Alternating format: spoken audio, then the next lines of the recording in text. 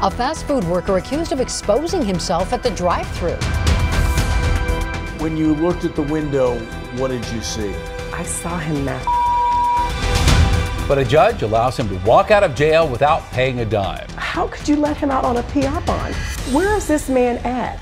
The sickness only gets worse. Leaving the customer he flashed outraged. It's serious. It has to be addressed. This is just another example of the growing conflict surrounding PR bonds. Chief investigative reporter Tony Kovaleski digging deep into the shocking numbers last month. And tonight, he sits down with a woman who never expected what she witnessed that day. And when I turned my head and I saw, oh my God, I said, no, please, no. You can hear her emotions. She told police it happened here. I saw him master. It's really gross, really creepy. He was like, wait, wait, wait. And he was doing it. And I was like, oh my God. And his eyes started rolling back in his head. A popular fast food restaurant on Colfax in Denver. And I just drove off. I got maybe two blocks. I started crying. After talking with her family, she called police. And hours later, she picked out this man in a lineup. You asked us to do this interview in silhouette. Why? Because I'm scared. I don't want him to see my face. It's like I'm really scared. She says her fear centers on what took place after police arrested 34 year old Redmond Ogden. I wrote the letter a judge. Um, stating that I didn't think it was fair that you all were letting him out on a PR bond. Denver 7 has obtained the arrest warrant affidavit. Police investigators have connected Ogden with a second indecent exposure accusation also on October 27th just five hours before the fast food incident. The court filing says it happened on this RTD bus going eastbound on Colfax. A second victim accuses Ogden of exposing himself. That victim recorded the incident on her cell phone. Describe how you responded when you got that call. He's out on a PR bond. It's sad. It's unfair. All right, I have Redmond Ogden. This is a recording of the Zoom court hearing for Mr. Ogden. Understanding um, the nature of the offenses, um, I, I, do believe still that a personal recognizance bond is appropriate. That was the public defender, a position countered by the DA's office. The frequency of these incidents presents a concern to the people that this is a recurring type of um, behavior. The arrest warrant also cites a third incident back in March, a third victim accusing Ogden of exposing himself while in a crosswalk in front of her car.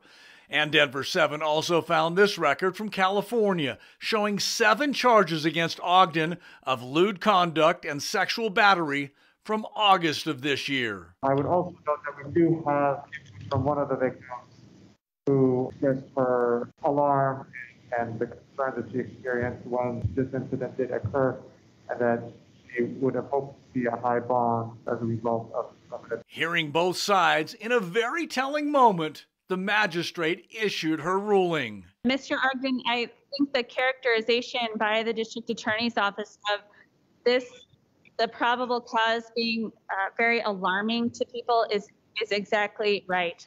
The behavior is very alarming but I am going to give you one opportunity at a personal recognizance bond over the objection of the prosecutor. As the chief of police, when you see that this guy got a PR bond, how do you react? It's extremely frustrating. It's frustrating for this particular case, and it continues to be frustrating because I see all too many uh, uh, examples exactly like this. A review by Denver 7 Investigates found between January 1 and the first week of September of this year, 17 cases of indecent exposure were granted a PR bond or a $1 bond, and another 12 felony cases of sexual assault or sexual contact also received a PR bond, which means the accused simply signs a document and is released from jail. No fine, not a penny required, just their word they will return to court. Last month, Denver 7 dug deep into the PR bond numbers. Our review found nearly 3,700 accused criminals facing nearly 8,000 felony charges were granted PR bonds during the first nine months of this year.